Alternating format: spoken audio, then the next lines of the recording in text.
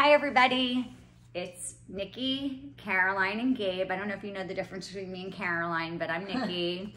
um, we have never done a video like this before. I don't, well, not in a long time. Yeah. But we wanted to share something with you um, that happened today. So we're going to give you a little bit of a background. So Gabe is learning RPM, which stands for Rapid Prompting Method, and it is a technique used um, by non-speakers who usually have autism um, in how to spell to communicate. Yes. I think Caroline can explain it a little bit It's basically a technique that teaches kids how to communicate through spelling on a letterboard. Um, and so this is an Mm-hmm. example of Gabe's letterboard. He sees an instructor once a week for half an hour. Um, and during his lessons, I should say, or during his sessions, um, she gives him the option of doing a lesson where she'll teach him something and they'll learn how to spell the words within that lesson and communicate on the letterboard. Or she'll give him the option of just having a conversation and sharing something. Here, sit up a So little. Nikki's going to talk about what happened today at RPM. So we're talking about your session today. I hope that's okay with you. We're so proud of you. we want to share with We everyone. really are. Um, so basically, during the session, the session started off with Ingrid asking Gabe, "Do you want to do a lesson on something today?" Because she has all these lessons that she plans ahead, you know, to teach the kids if that's something they're interested in, or do you want to share something? So she had basically she writes it on the paper, and Gabe takes the pencil and he circles the answer. So he chose to share something.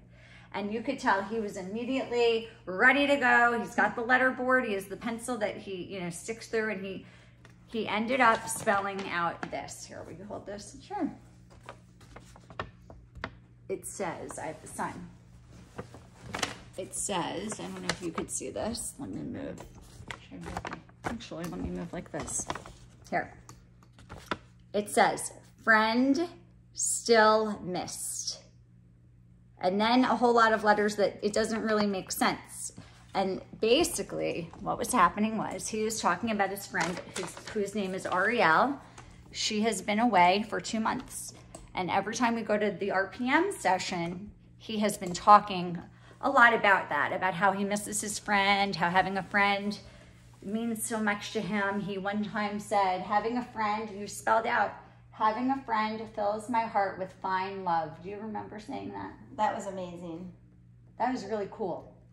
And I have that written down somewhere too. Um, I have all of these papers that I've saved where, you know, where we have, hear Gabe's thoughts, you know, coming right from him.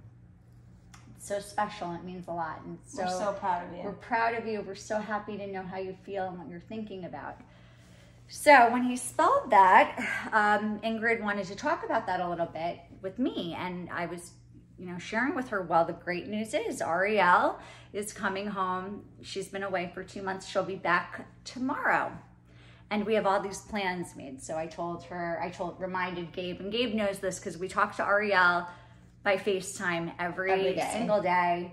And we have gone over the fact that she's coming home. You know, we have a countdown. We have a She board- made this is so great. So she's so excited. She made a vis- visual schedule um, for our day. So she's coming to see Gabe on Saturday.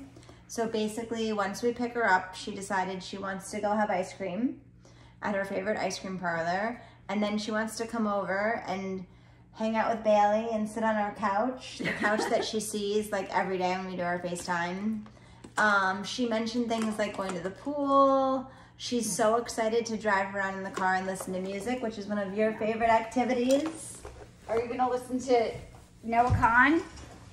I'll bet. We're going to a concert with Arielle um, and some other friends of ours June 9th, so we're so excited about that. Yeah.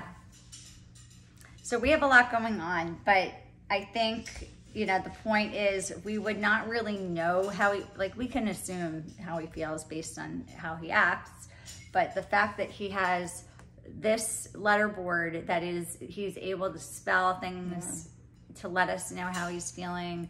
You know, this is just the start. He only recently started doing this. So I know, I can't wait to see. I started practicing with him too. So like at the end of the session, I started um, practicing. Oh, I don't have my paper.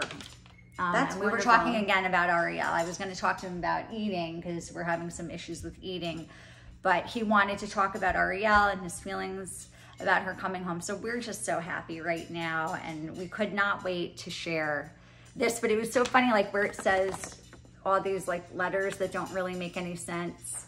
It was just based on you could see he was excited talking about her coming home, like that he couldn't even Contain it. no, he couldn't contain it. And then we asked him in other ways, like how he was feeling, and he was circling the answers. Like he, we said, do you feel excited, happy, or something else on written on a piece of paper? And he circled excited. And then to practice, we took out the letter board. And he started spelling it on the board, and you know, and I just I cannot wait for next week. He doesn't have a session, but um, The week after. the following week he'll have another session with Ingrid, and I just cannot wait to hear what he has to say. it's really awesome and we're definitely trying to like try it at home. Like obviously nikki goes to his sessions and she's learning.